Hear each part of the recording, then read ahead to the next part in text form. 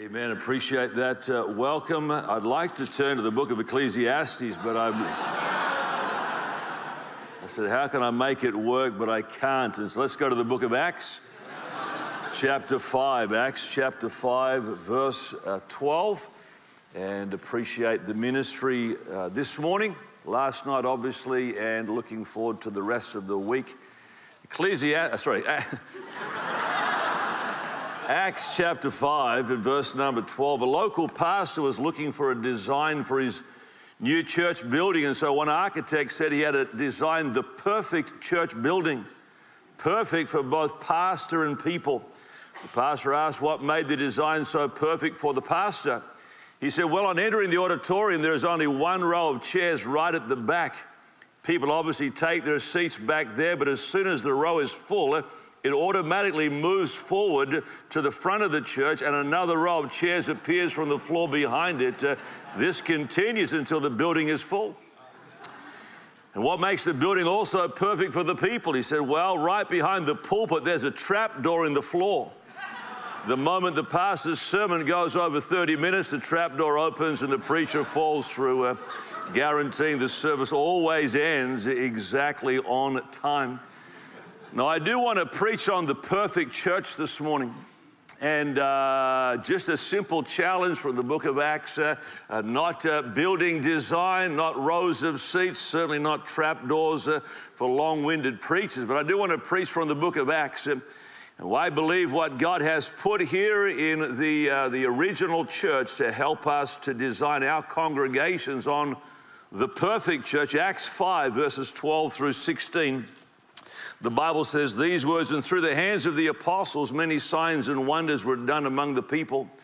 They were all with one accord in Solomon's porch, yet none of the, the rest dared join them. But the people esteemed them highly, and believers were increasingly added uh, to the Lord multitudes of both men and women, so that they brought both men and women. So they brought the sick, sorry, out of the streets and laid them on the beds and couches, that at least the shadow of Peter passing by might fall on some of them. Also, a multitude gathered from the surrounding cities to Jerusalem, bringing sick people and those who were tormented by unclean spirits, and they were all healed. Let's look first of all and consider for a few moments the untarnished church. Uh, one man had been described by his church friends as a pillar of the local church.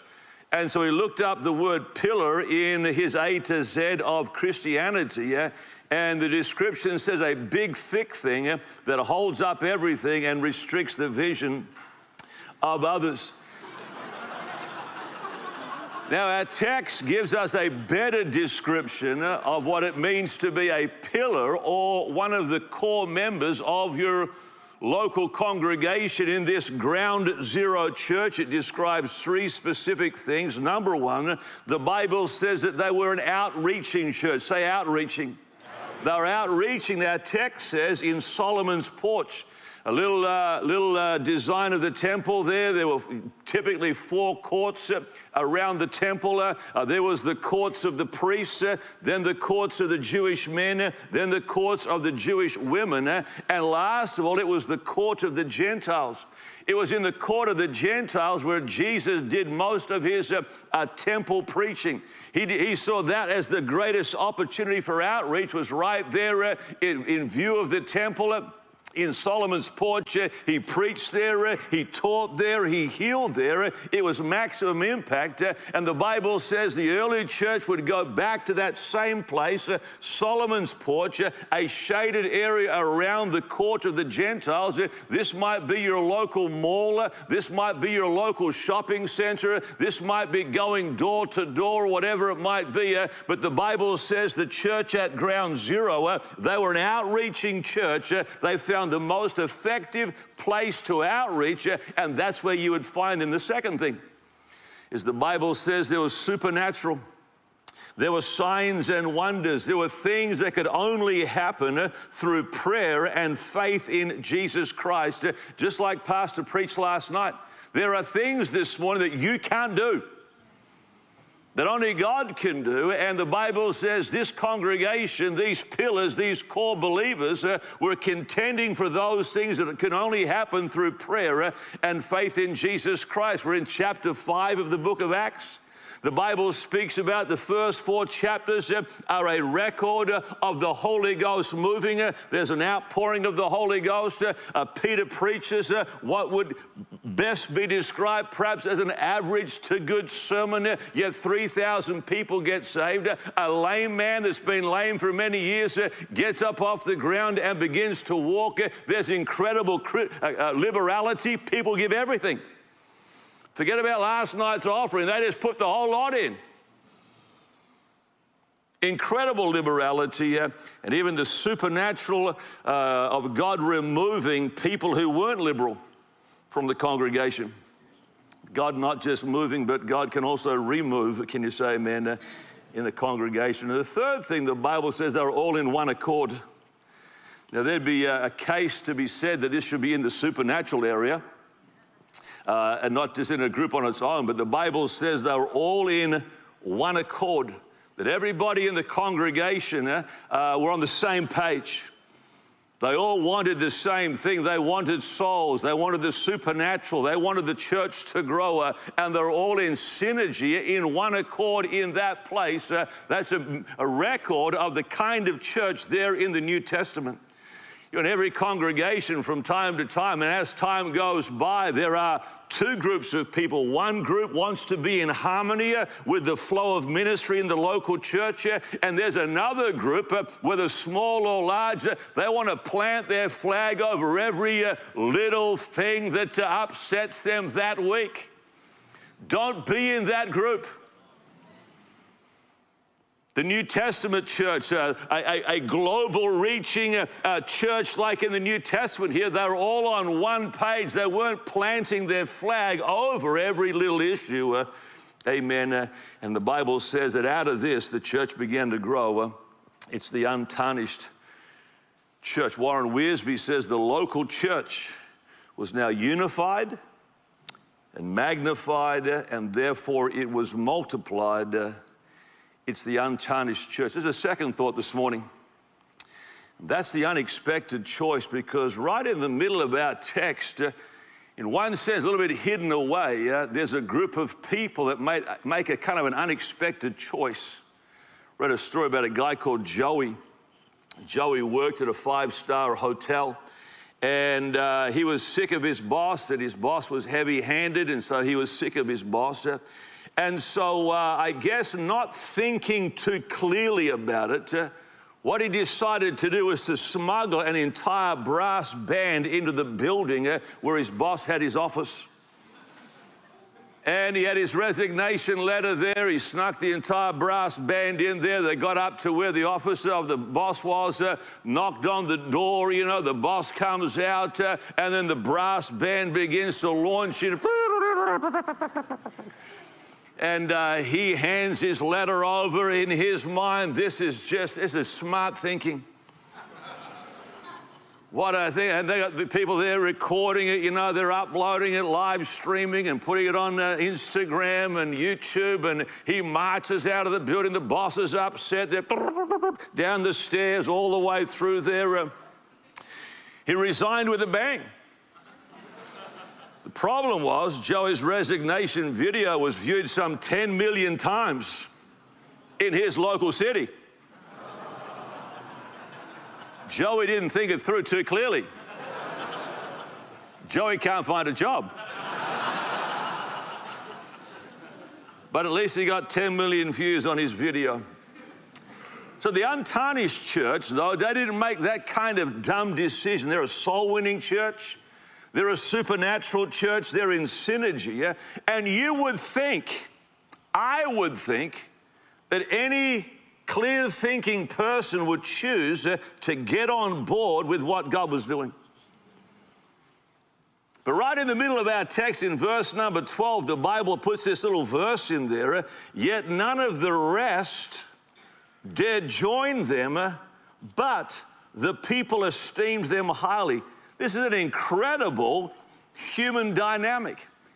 that there was a group of people, and the indication is perhaps they were remotely linked to the congregation, remotely linked to the church.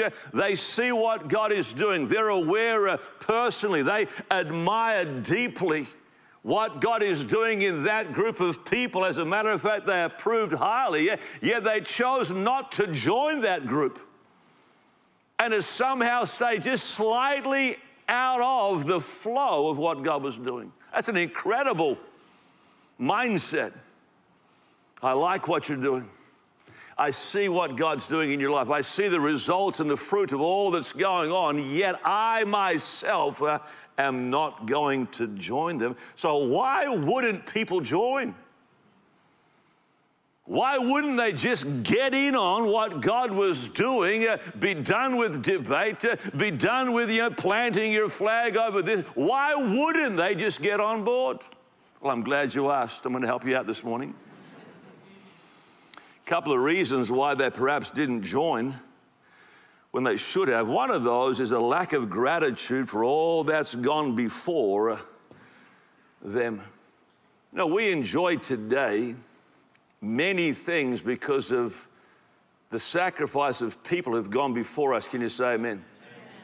We just celebrated Anzac Day, and I, every good citizen that remembers Anzac Day, the, we are the beneficiaries of incredible sacrifice, not just those that died on the front line or those wounded on the front line. Uh, there are the families of those uh, uh, that were there on the front line, dead or wounded. There's an incredible debt of gratitude that we owe as a nation, those who've gone before us. But that's also true of churches.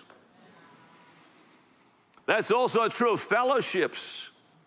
That's true of local congregations. We are the beneficiaries of people's sacrifice before us, and there ought to be some gratitude and appreciation.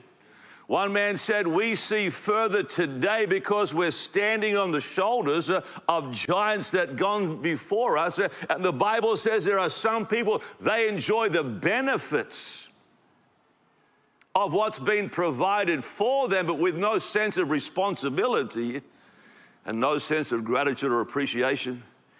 Yeah, for many people here the, this morning, and maybe those that watch this stuff uh, online, uh, our fellowship in your local church has just kind of always been there.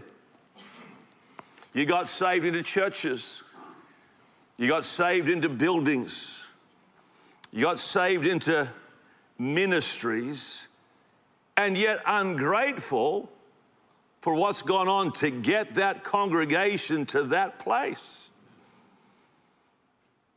Ungrateful for those who've gone before. Your Pastor Scott saying he's been 30 years in Adelaide. He deserves a Medal of Honor for being in Adelaide. He deserves a Medal of Honor for faithfulness. Uh, for the, there are people that walk into his church and say, well, this, this all that's happened, is it? Not recognizing all that's gone before. That's a borderline personality disorder. If you can walk into your congregation and be there in whatever size or stage or season that it is uh, and not have a sense of appreciation for that, uh, you need a mental health check something wrong with you that you're going to be the beneficiary of those things and not sense any responsibility or gratitude. And gratitude ought to be that I want to be a part of this, I want to join this uh, and pass it on to another generation. One of the first times I was going to America on a fairly regular basis every couple of years for a conference, and it always used to, I guess, bemuse me to some degree then it began to upset me, yeah? And that was the people that would go to America that would arguably at that point, I guess, be the strongest nation in the world at that time. Eh? And yet they'd, they'd, they'd be invited to come, they'd become citizens of the country, yeah? but then pick on the country. Hang on a minute. What gives you the, what gives you the right? You're there it's the lucky country. You would think you would participate, preserve, and promote the country, but no, all you see is what's wrong. All you see is the negative. How come this, this group's not getting their share? There's something wrong with that. That's not just America, that happens in England, it happens in Canada, it happens in Australia. Yeah, people are risking their necks to come and live your life, and all you can do is, is grumble about small things you can't have. Borderline personality disorder. Uh, Kerry Packer is James Packer's father. He's a media mogul from the 70s and 80s. He had a heart attack in 1990, and the attending ambulance back in 1990, 30 years ago, resuscitated him with a defibrillator. And so uh, uh, Kerry Packer was so grateful that when he found out that not every ambulance in New South Wales could afford a defibrillator, he called the Premier and said, I want to, I'm so grateful for having had my life saved by a defibrillator. I want one of these in every, uh, uh, every ambulance and I'll pay whatever it, whatever it takes. They called it the Packer Whacker. And, uh, so here's a guy, and I don't know, I don't know, you know, his background. He's not a church-going man. He's a very hard-living, sinner type of guy, but recognizes I've been the beneficiary. I've got to have some gratitude to participate in those same things. In 1982, a young man gave me a flyer in Desperado's Tavern.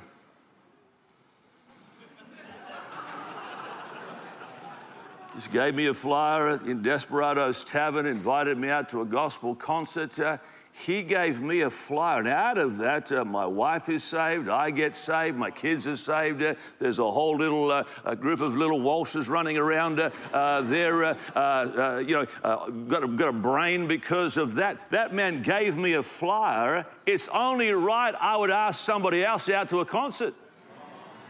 Somebody witness to you. Do you have any sense of responsibility to share that good news with somebody else? Well, I'm saved, I'm going to heaven. Why should I? Because you should.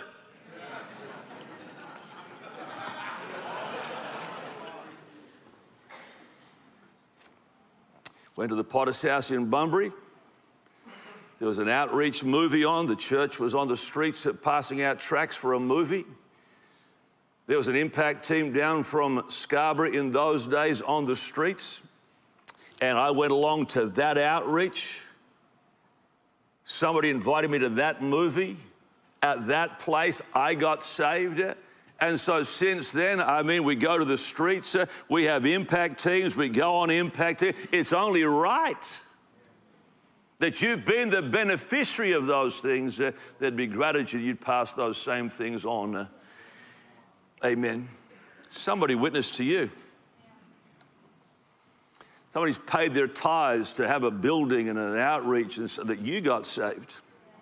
Well, it'd be right that we would respond in gratitude, in kind. Can you say amen?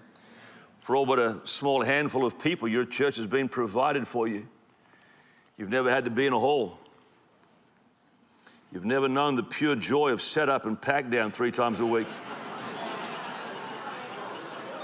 the exquisite joy of raking out the rubbish and mopping up the vomit. Trying to put some smelly crystals in the carpet to, you know, to somehow overpower the smell of baby poo or something that's in, I don't know what's in there. You walk into a building, you've never enjoyed the nervous wait for somebody to come as a visitor. Not to a concert, I'm talking to a church service. You're the nervous walk out the front, just kind of. Have I raked and mopped for, mopped for no reason? My son, Pastor Josh, mentions about pioneering in Maroubra and they'd set up the building, uh, you know, raked and mopped and all that sort of stuff. And uh, he's there, he's up the front, and he's got the guitar. And so service time has come and started. So he's going to sing the first song in case somebody walks in. There's nobody there. His wife has taken his son to the kitchen or something to change a nappy, and so some guy just wanders in the back door. Way in the distance, there's just one guy on a guitar, about 30, 30 or 40 seats, you know, the magic number of unbelief, and they're all. you've, you've not lived until you've just played the guitar and seen the visitor come in the back and just look around.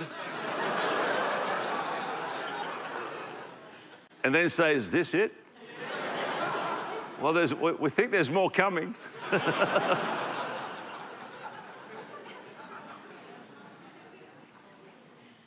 no, you walk in, you low crowd today, Pastor. I don't think there'd be a hundred here. It's like, you're going to slap his lips off. Now there's a building, there's nursery, there's Sunday school, there's concert, there's air conditioning. There are people, you put your dozen kids through nursery and never do a nursery session. Oh, come on. Can all the pastors' wives say amen? Your, your kids come in and they haven't been fed, the nappy hasn't been changed since last Sunday that you changed it in nursery. Never do a session. Put your feral lot through Sunday school and never volunteer. I could go on. Matthew 10 8 says, Heal the sick, cleanse the lepers, raise the dead, cast out. Freely you have received, freely give.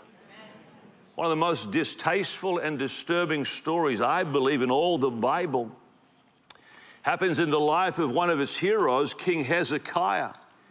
King Hezekiah is terminally sick. God, uh, uh, God Himself, not the doctor, but God Himself says, My friend, get your house in order. It's time for you to receive your promotion into heaven. And Hezekiah, the Bible says, prays, uh, and God grants him 15 extra years. You would think, you would think that would change a man's life. Second chance, 15 extra years. This is an incredible opportunity. What Hezekiah does is he loses his cotton picking mind. Lest the Philistines through, they check out the place. He's bragging about this, he's bragging about that, like he built the place. Prophet, Hezekiah, Prophet Isaiah comes and speaks to him in 2 Kings 20, verse 19, and tells him everything's going to be lost here. They're going to come in, the Babylonians are going to come in, they're going to take everything, and your sons are going to be eunuchs.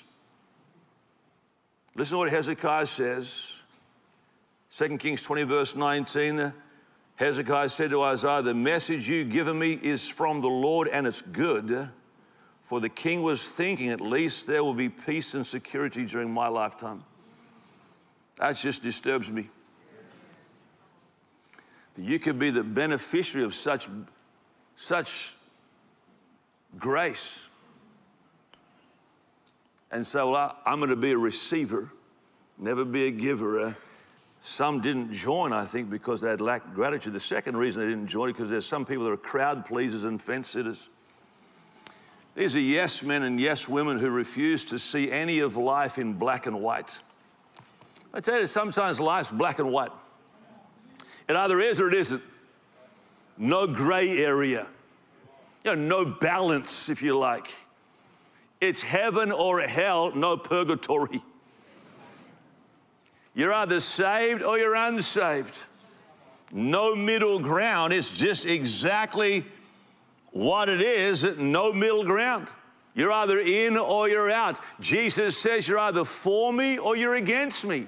Yeah, but I like what you do. You're either for us or you're against us. No middle ground. You're either gathering with us or he says you're scattering abroad. No, it's black and white. It's clear cut. And you don't like that. A lot of people don't like it's clear cut. You're either loyal or you're a rebel. Well, I like some things and you know other things, black or white. And if you choose this, you're going to offend some of that crowd. And if you choose that crowd, you're going to offend some of this crowd. No middle ground. A lot of people don't like that. Galatians 1:10, Paul says, obviously, I'm not trying to win the approval of people, but God. If pleasing people were my goal, I would not be Christ's servant. Not only is Christianity many times black or white, genuine Christianity also means we're oftentimes in the minority. If you think sometime we're going to be the, you know, the crowd favorite, being a born again, Bible believing Christian is going to make you the crowd favorite. I've got, I've got tragic news for you this morning. You're never going to be happy as a Christian because you're never going to be in the majority. We live life on a narrow road, walking through a narrow gate, while the crowd is going through a wide gate that leads to destruction, no middle ground. Sometimes you have to make a call that's going to upset some people. You have to make a decision. You have to join the core, the main players, the pillars. And that means upsetting some other people.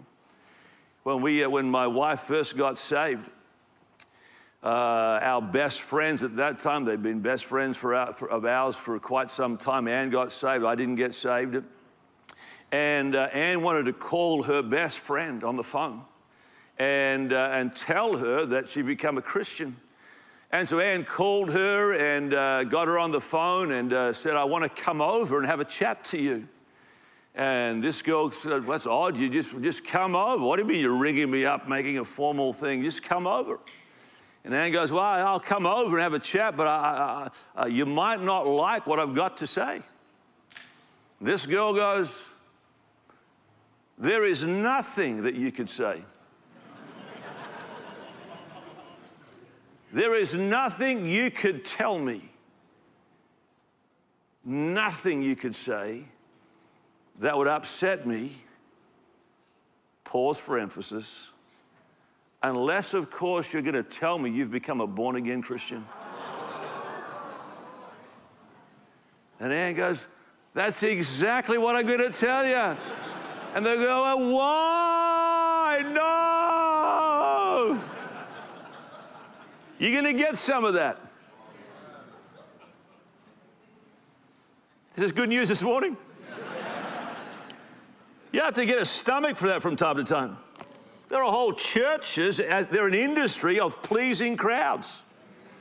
No morals, no preaching from the Bible, no standards, no church discipline.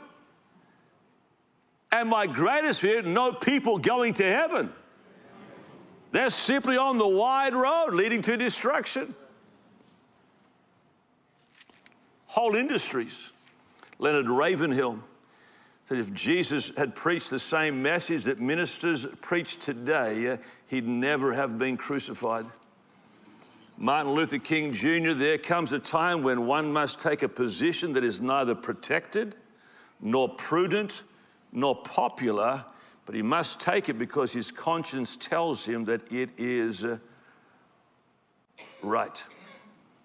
That great theologian Lecrae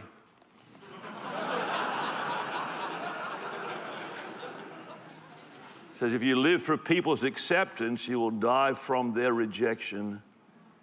Fence sitters and crowd pleasers. The last one is the unwillingness to sacrifice.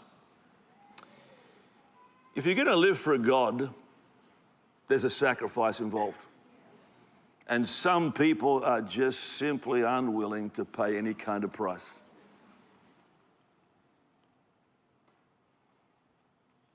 Someone spoke about witnessing to somebody who says they'd tried Christianity and it just wasn't for them. And the response was, It's not been tried and found wanting, it's been found difficult and therefore not tried. And for many people, the only reason that you don't put it all in is because of sacrifice.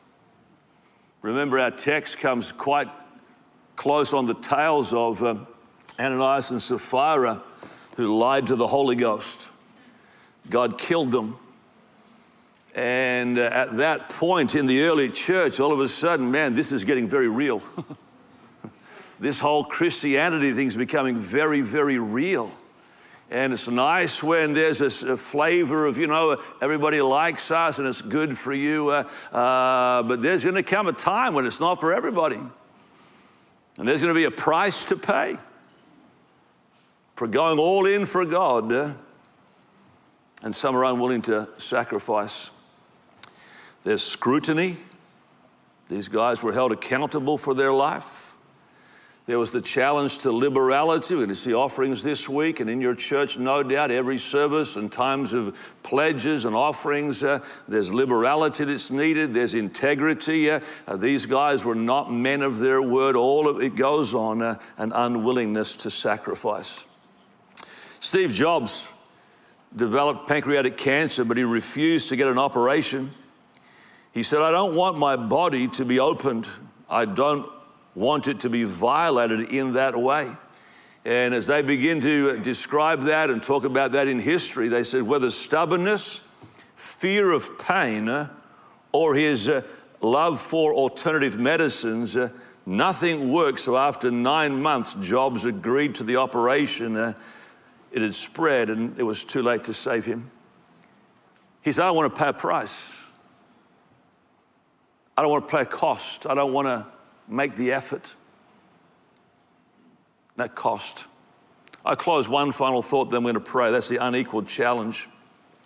For those who truly join in, and if you read our text again, I won't belabor the point. Uh, it talks about, you know, signs and wonders, and they're outreaching at Solomon's porch, and there's uh, miracles and so forth. Uh, has this little phrase in the middle about this group of people uh, that refuse to join them. Uh, but the Bible goes on to say, verses 14 through 16, uh, that men and women increasingly were added to the church. The Bible speaks about miracles. Um, were peaking. The, uh, the Bible speaks about the shadow of Peter uh, passing over sick people and them being healed. The church goes on to have a, a tremendous outreach, a tremendous revival, a tremendous impact, and tremendous fruitfulness uh, because people did join. People were drawn from the surrounding cities. The sick were healed uh, and the demon possessed were delivered. Uh, and that's the challenge this morning. Is that if you would go all in, single people here, there are married couples, there's young married couples with kids, uh, there are middle aged people, there are some with a little snow. If there's any roof, they've got some snow on the roof. Uh, uh, all groups of people uh, with your own different choices to make. But my Bible says that if you'll make the right choice, that kind of ministry and impact uh, is yours for the taking. But without that, Without those kinds of choices, uh, then you just uh, sentence yourself to mediocrity for the rest of your life. Lots of places you could go, but the Bible says you've got to join. About 150 years ago, a band of brave men and women became known as one way missionaries. They bought one way tickets to the mission field, and instead of suitcases, they packed their few belongings into coffins said their goodbyes knowing they were unlikely to ever return home.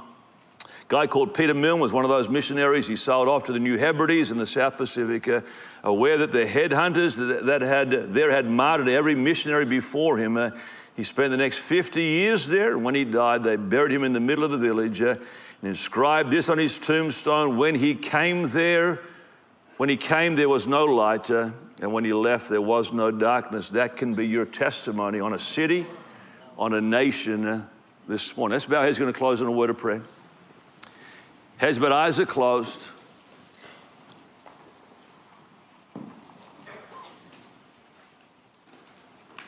God help us this morning to be people that really think this stuff through.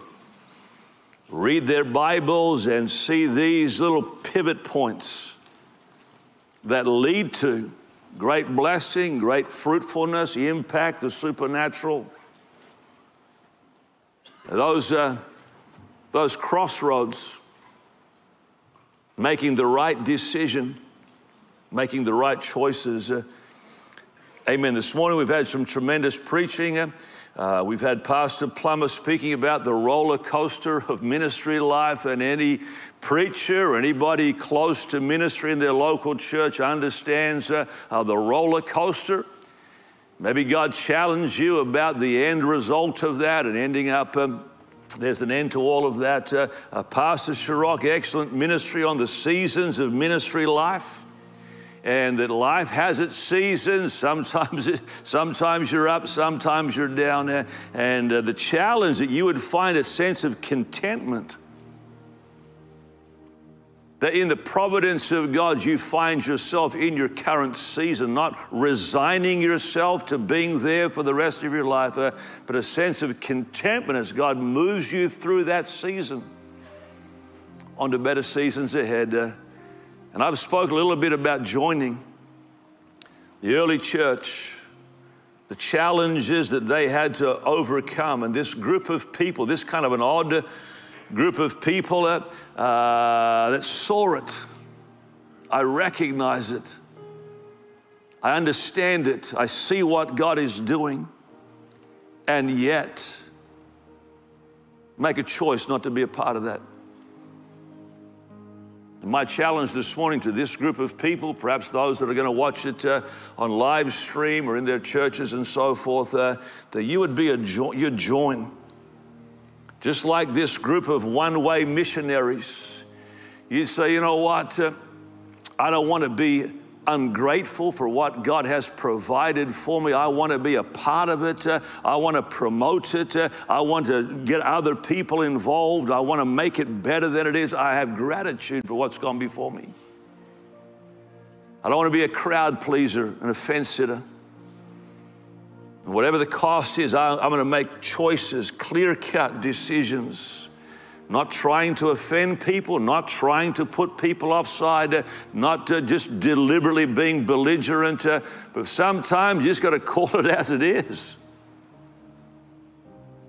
Let the chips fall where they may. Uh, and the Bible says God recognizes that. And his favors upon those people and those churches and our fellowship. Let's all stand across the building. The altars are open. You come forward, find a place to pray seal these things with God this morning, any of those three messages, uh, maybe others besides, God's dealing with you about something else, you come forward, find a place to pray, and seal these things with God this morning. Amen. Hallelujah. Oh, hail King Jesus.